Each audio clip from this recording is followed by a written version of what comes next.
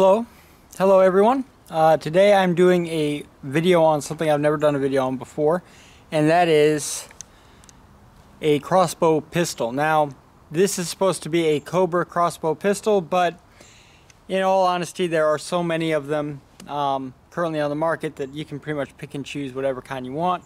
Um, but this is basically going to be a review on this. And in this video, I'm going to be telling you guys, showing you how to put it together how to string it by yourself, um, and kind of be going over the specs of it, and we're going to do some target shooting. So let's go ahead and kind of get into the actual review of it, of the pistol itself. Now, they have many different versions of this. I decided to get one that is all aluminum um, with just plastic scales because I wanted something that was a little bit more durable. Um, they do make them where they, they have, you know, plastic all the way down.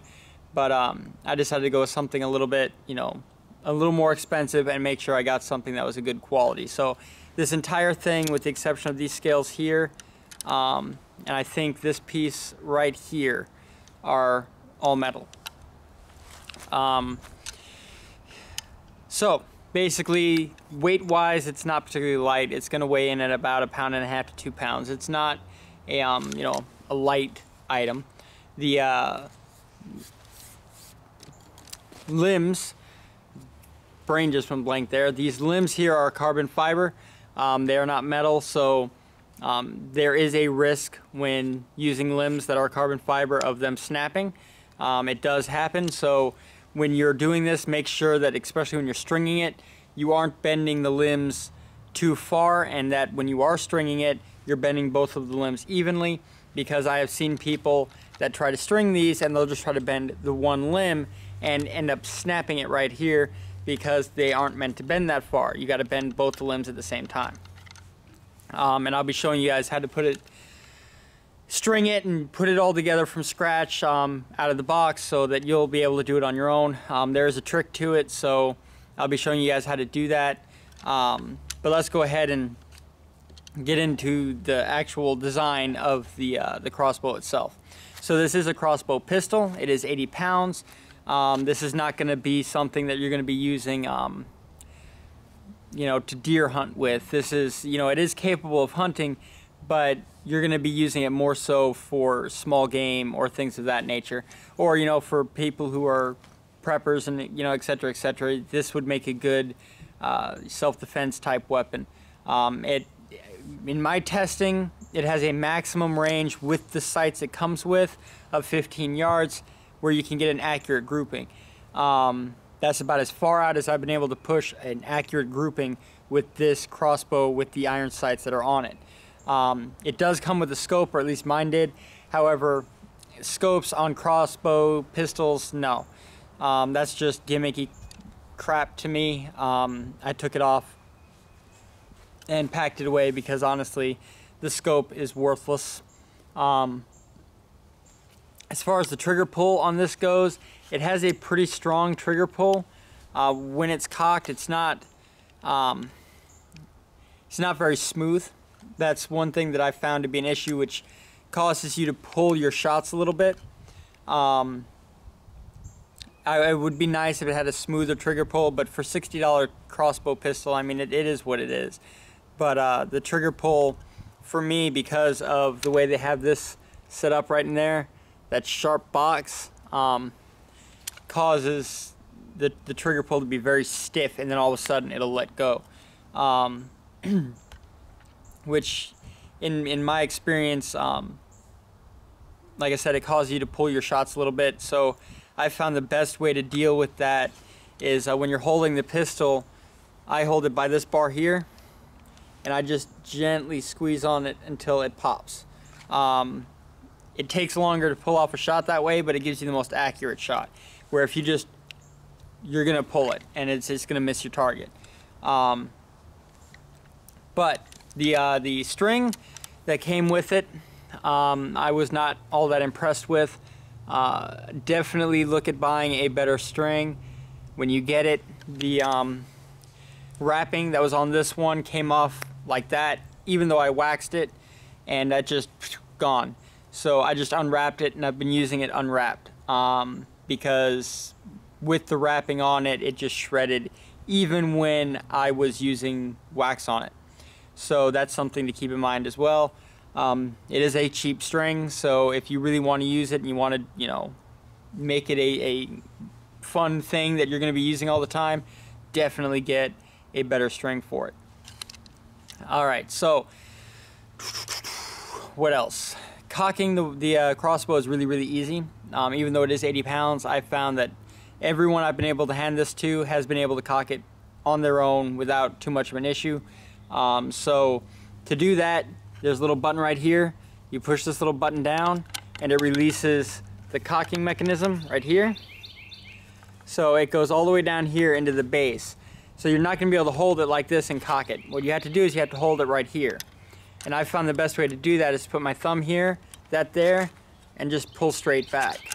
Um, now I'm not going to cock it because I don't have a, an arrow in there. Um, and as anyone knows, you don't leave a gun cocked or a pistol, a crossbow cocked, and you certainly don't fire dry fire it. So I'm not going to do that right now. I will show you guys that in more detail when I do the target shooting. Um, the sights on here are acceptable. Um, I found that they are not as accurate as they could be. Uh, from 15 yards, I get a grouping about this big, um, which isn't too bad. Uh, you know, it's, it's good enough to take down small game, but it's not as accurate as it could be. So I'm thinking with the power this bow has, you could probably push it out to 20, maybe 25 yards accurately if you replace the sights. Um, I've seen people replace these with red dot sights. You could certainly do that. Um, just make sure that you're using the 3 8 rail instead of the uh, standardized size rail. So the rail that is on here is a 3 8 um, so make sure, you know, and you can't really replace it because there's stuff on here that goes through this rail that is necessary for the operation of the crossbow. So you can't replace the rail, but you can replace what goes onto it. Um, but I found that it is a 3 8 rail. It is not a standardized rail system. So you're going to have to use what would be considered a um, BB gun type sights. Um, you're not going to be able to use, you know, higher end sights that you'd put onto an actual weapon.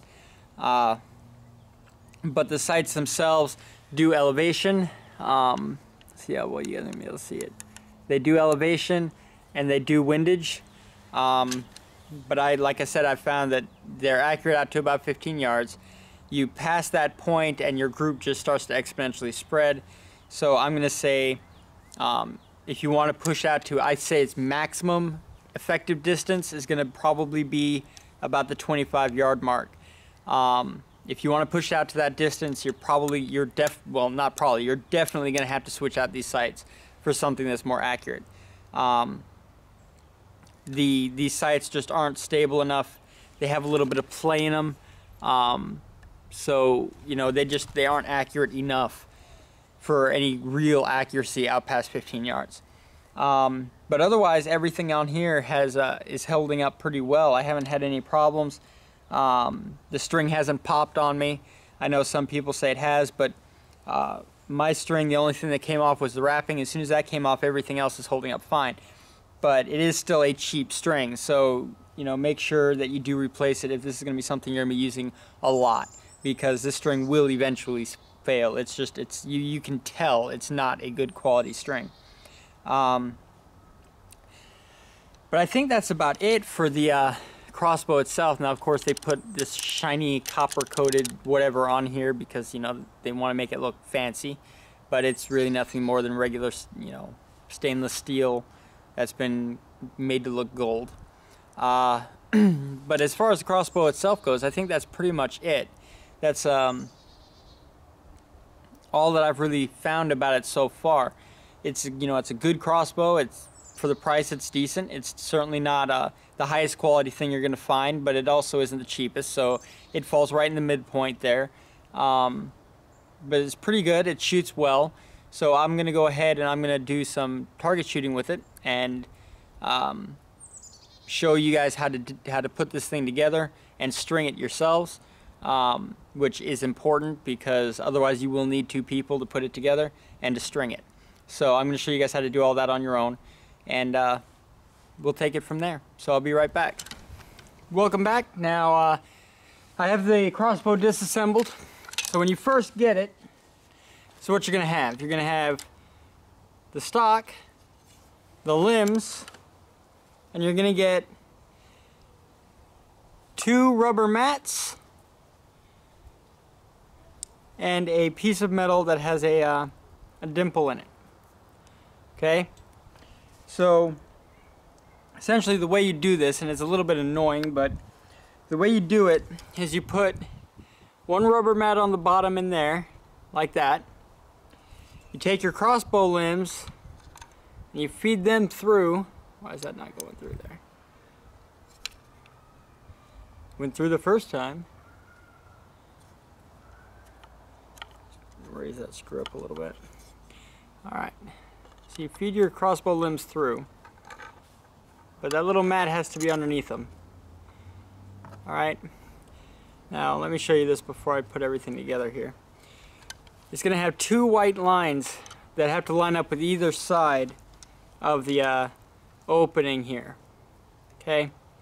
So when you have it put together, it should look something like that. Now I'm not, I don't have it lined up perfectly, but should look kind of like that. You should have a little bit of a line on either side, nice and even, um, kind of like that.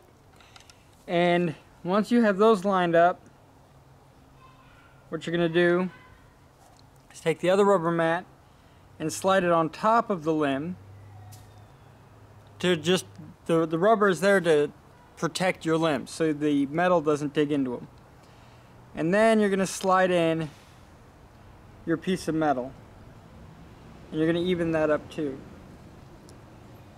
And you're just going to screw the screw in the front down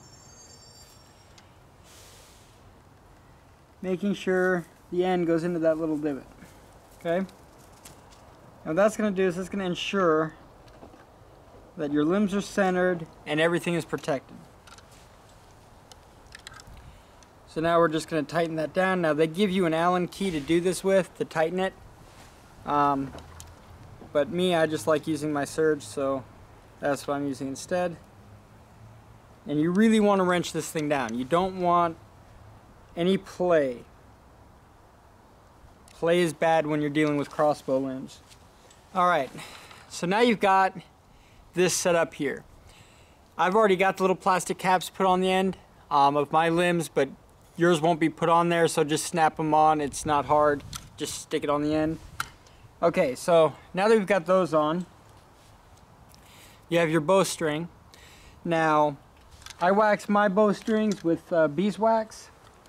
Um, if you want to use actual bowstring wax and you know stuff like that, that's up to you guys. But at this stage, you need to wax it. So basically the way I do that is I just take and I run it across the beeswax and just make sure that I get a good coating all the way across the string.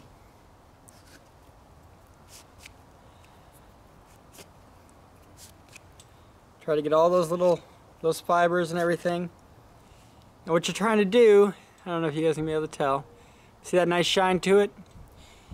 That's what you're trying to achieve, all the way through the string. And what that's going to do is it's going to help prevent your string from breaking. And I'm going to show you why uh, here in just a minute once I have this thing strong. Um, but the next step is to string it. So basically to do that, I came up with a little bit of a rig here. This is cord number two, or one, and this is cord number two. So what you're going to do is you're going to take the, the second cord with just two loops on the ends, one here, one there. You're going to put your crossbow string on so it's behind the puller, all right? You're to take one loop and you're going to loop it over like that. You're going to take the other loop and you're to loop it over the same place here and you're going to pull the crossbow string through the loop too. All right, so it should look something like this. And that's how you're gonna get the leverage to actually pull it back on your own and uh, be able to string the crossbow yourself. Now I'm going to take you over to where I'm going to do it and show you the second step in order to make this possible. All right, so, I'll be so right I've already back. shown you how to get the first string set up so that you can actually pull the limbs back. The first string that I made was to actually hold the crossbow tied to this post. Um, that's going to give you the body weight, the leverage to actually pull back on those, those limbs. So the first thing I did was I made a loop on one side. Then I took, and about halfway down, and it's a pretty long piece of cordage, I tied another loop. And I left a piece of string coming out the other side, about a foot long. And I tied that extra foot into a nice big fat knot. And what I'm going to use basically is a button system. So this wraps around here and locks on like that to, to hold the string to the limbs. And the reason I'm doing that is because once it's strung, if you just tie it on normally, you won't be able to get the string off. Just pulling it off, you'd have to untie it. So the easiest way for me to do it was to take this loop here, wrap it around the limb, like this, take and push the other side with all the knots through that loop. Just like this. And um, what that's going to do is it's going to give you a loop that can be taken off. This loop here does the same thing except I push it around behind the limb here take this loop loop it around and tuck that little knot through it and then tighten it up all right? So now you know how it's done. Let me go ahead and tie it to the post. And what we're gonna do is we're just gonna take this push it through behind the post and then we're gonna do a little knot. What that's to do is it's to let me attach this crossbow to the actual fence. Okay? Now it's time for the difficult part. So basically, what you're going to do, you're to make sure this is stuck down in there, like that. And you're going to move these as far over to the ends of the limbs as you can get them to go. Okay, that gives you the most possible leverage. As soon as you put pressure on it, the crossbow will stay level on its own. So you put a little bit of pressure on it, move your paracord loops the farthest you can out to the sides of the limbs. That gives you the most amount of leverage. And then just put your body weight into it.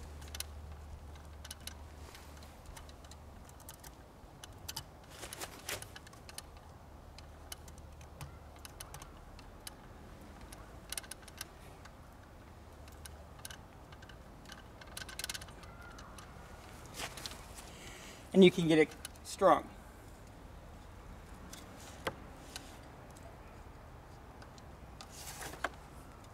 And this way, I can actually get this string off without having to untie everything.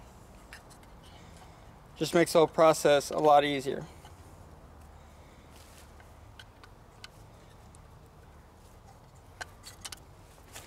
So there you are. Now you just slide these off and you have a strung and assembled crossbow.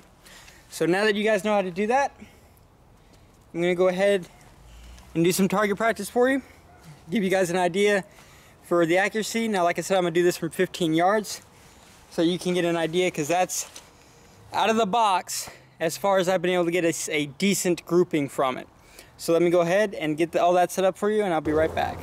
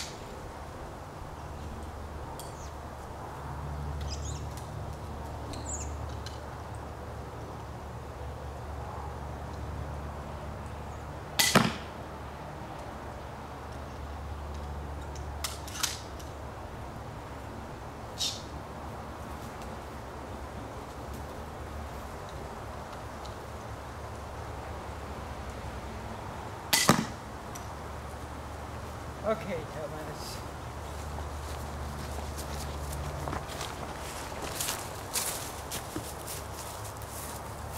Out of my line of fire.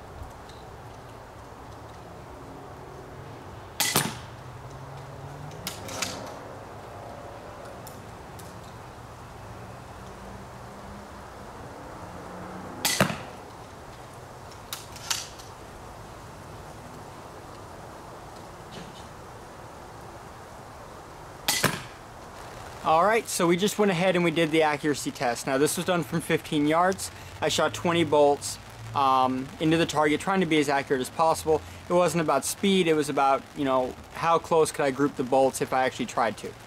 So this test that we have coming up right now is gonna be a, um, a speed test. It's not gonna be so much accuracy as it is going to be how quickly can you put the bolts down range. Now, because you have to at least be somewhat accurate in order to make the bolt worth shooting. We're going to make sure that we try to hit as close to that green circle as we can in the target. Um, but it's not going to be, you know, as pinpoint precise. So that's going to be the uh, test coming up right now. And that is also going to be done from 15 yards and we're going to use 20 bolts again. So if you aren't curious about this, because I'm not going to fast forward anything, um, go ahead and skip it through this section um, because the next section is we're going to be shooting at the chicken. So you don't want to miss that. So go ahead and uh, take a look at this clip and uh, we'll be right back.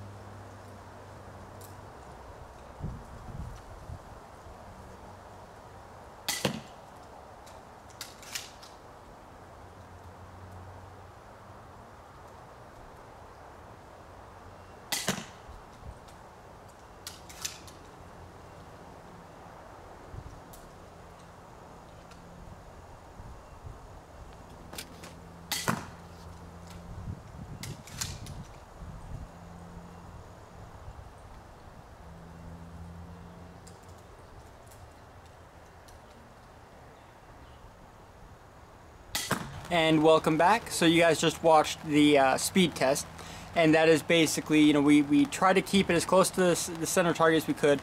We sprayed, a, you know, a little bit around, we pulled some of our shots, but, you know, we were trying to be quick about it. That's going to happen um, with any projectile weapon. So you guys just watched that test and hopefully you were able to get a pretty good idea of um, how quickly you were able to get the bolts down range. And if you actually time the number of bolts and the length of time in the video, you know, for that section, you'll actually be able to tell how many bolts you can fire per, you know, per minute. Um, I'm not going to do that math. That's just not that important to me. I figured you guys would want to know. So if you, you know, you look from the start point to the stop point of that clip and you time it and then look at, divide that by 20, it'll give you a good idea of um, how many bolts per, per minute. Um, so now we're going to do the chicken test and this is basically a penetration test. Instead of using a water bottle or a soda bottle or any, you know, that kind of junk that people do typically use penetration tests for, we're actually going to use a thawed chicken. Now, I'm choosing this particular animal, uh, this type of, of target, because this is kind of where I think things are going to sit as far as the bow's ability to actually kill something. Um, now, based on previous tests I've done, I do feel comfortable shooting at a small boar, um, I do think the penetration is high enough to actually kill that target, but if you are shooting anything larger, like I would never shoot this at a deer, I would never shoot it at a large boar. Um, I think the the farthest this thing can go is going to be a 20 to 30 pound boar, and that's going to be about as big as I would go with this type of weapon. Um, anything bigger than that is out of out of this weapon's capability. Um, you're going to want an actual hunting crossbow or you're going to want a, uh, a hunting recurve bow or something of that nature. You're not going to want um, this little crossbow pistol. Now, in the nature of Doomsday Apocalypse, absolutely, this thing will definitely help you at 15 yards. Um, but, you know, for regular hunting purposes, I would say stay to smaller games. So that's why I picked a chicken as my target because I think that's going to be about the size and density of animals that you're going to be hunting normally with this kind of crossbow. Um, so stick around. After that clip, we will go ahead and finish up this review and uh, hopefully you guys will have learned whether this is or isn't worth it for you. So stick around, we'll be right back.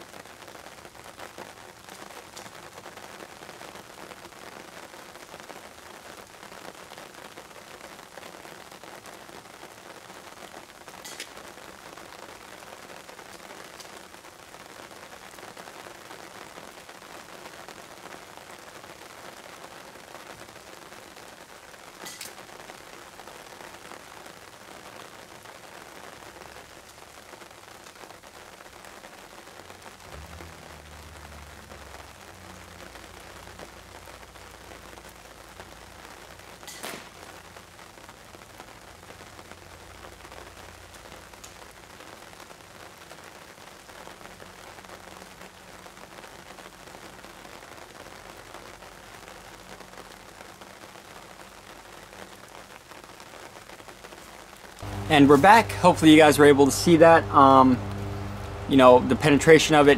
Normally it put the bolt straight through the chicken. I did have several bolts that went just completely through it um, and were on the ground covered in chicken juice. Um, most of them went through one side completely and then ended up catching the uh, fletching at the end. So the whole side of the bolt was sticking completely out of the chicken, but the fletching just kind of stopped it and didn't allow it to go completely through.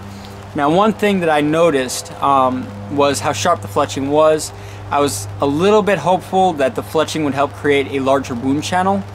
Um, but I've done this test before and I kind of I realized that the wound channel it does create a small one but it's not a significant wound channel so it's not going to create you know a large hemorrhage surface so as far as bow hunting goes like I said this is the reason that I would not now that you've seen it the reason I would not choose to use this against a, um, a larger animal because you're not going to get the hemorrhage that you need in order to actually kill the animal humanely. Um, small animals like chickens and things of that nature, or you know, like a small boar, for example, you actually have an, a, a chance of killing them humanely. Um, so if you're in a survival situation or doomsday scenario, um, this is definitely going to be a good weapon to take out and actually quietly kill small game. Um, because the damage caused by the bolt is enough even without a huge wound channel. Um, but you're definitely going to want to go with broadheads or anything like that if you're going up against a, uh, a larger animal and this bow simply is incapable of supporting that type of arrow so unless you're making them yourself for this crossbow and you know how to make a crossbow bolt that can withstand an 80 pound flick um, without shattering which takes some skill um, I do not believe that this bow will ever be able to hunt anything larger than a small boar. When I say small, I mean 20 to 30 pounds, you know, a, a small boar. I'm not talking about, you know, a 50, 60, 70 pound boar, just small little ones.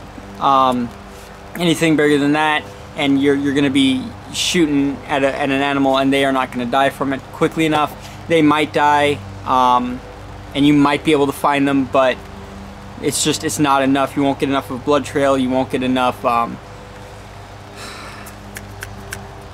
you know it'll make it harder to track them and they won't drop quickly enough. So you'll be following this animal around potentially for days even weeks um, before they finally succumb so from a humane you know a humane point of view it's just a really bad weapon to use against you know larger animals um, but with that said uh, I will of course have this on the affiliate, you know, affiliate links to this, and I will certainly try to find it on all of the different countries that I support.